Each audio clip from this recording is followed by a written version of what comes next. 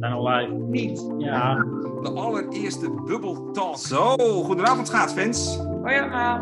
Jutta Leerdam en Patrick Roest. Mogen ze alles aan jullie vragen? natuurlijk. Geen geheim. Hoe ben je kampioen geworden? Zo, nou dat is een moeilijke vraag. Nou, ik ben begonnen toen ik 11 jaar was met schaatsen.